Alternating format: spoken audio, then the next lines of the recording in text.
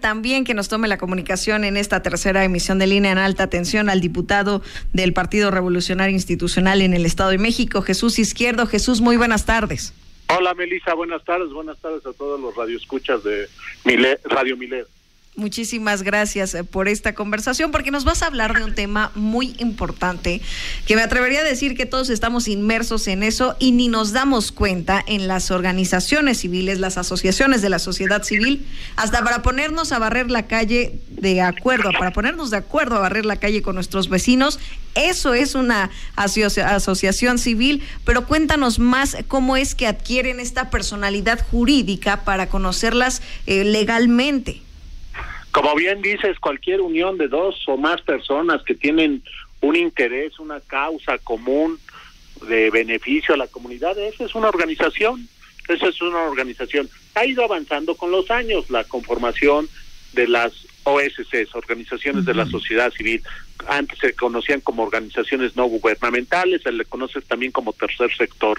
Y en los últimos años, pues han crecido, han crecido estas organizaciones de la sociedad civil, en especial aquí en el Estado de México, porque no es un secreto que a nivel federal, el gobierno federal, en especial eh, estos últimos cuatro, casi cinco años, les han puesto muchos peros y muchas trabas a las organizaciones de la sociedad civil.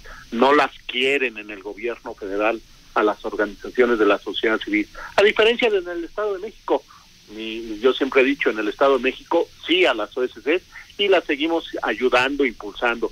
Tu servidor fue subsecretario de Desarrollo Político y desde ahí las profesionalizamos, les dimos capacitación, les ayudamos si les hacía falta constituirse legalmente, eh, ayudarles en su logo, en su logo, en su contabilidad, darles un caminito de cómo deben ser organizaciones de la sociedad civil y después ser donatarias, que es otro otro escalón para ser donatarias, recibir donaciones y hacerlos deducibles.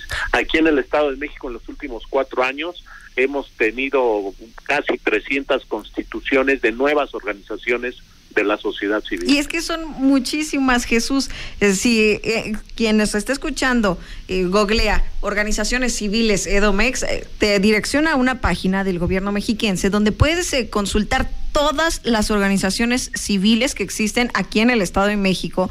Y como bien dices, Jesús, ¿qué es lo que está haciendo pues la bancada priista para promover que este tipo de agrupaciones se constituyan legalmente y sobre todo pues que cada vez más puedan promover estas iniciativas, eh, la voz ciudadana.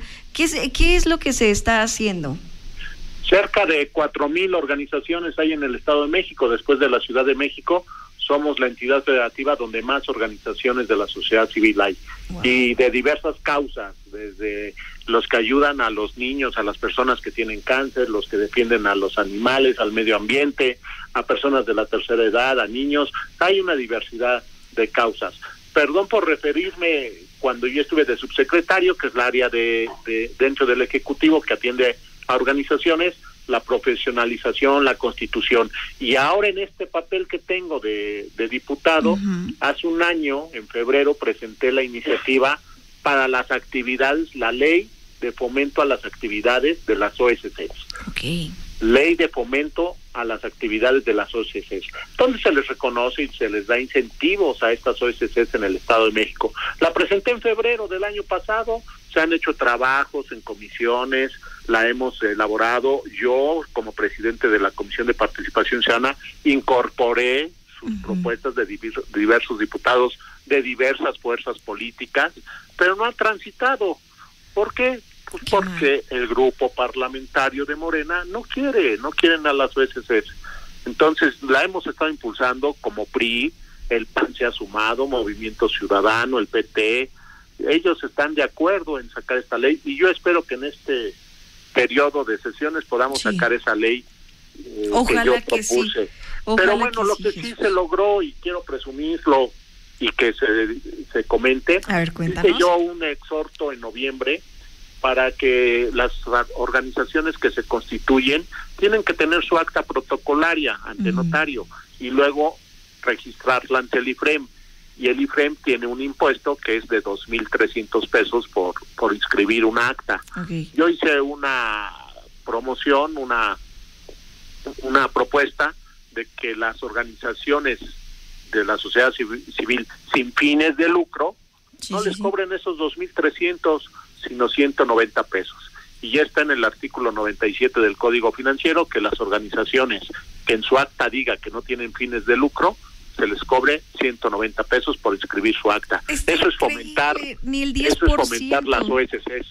Sí, sí, sí, por supuesto. Jesús Izquierdo, diputado del Partido Revolucionario Institucional aquí en el Estado de México. Me gustaría que no sea la última vez que mantengamos esta vía de comunicación porque es muy importante, como bien dice, seguir promoviendo lo que las organizaciones de la sociedad civil están realizando porque al final son eso, la voz de la ciudadanía que acercan a los gobernantes este tipo de, cosas eh, que se pueden mejorar. Muchísimas gracias por la conversación. Le mando una abrazo. Saludos, gracias por la entrevista. Buenas tardes a todos, a todas. Gracias, buenas tardes.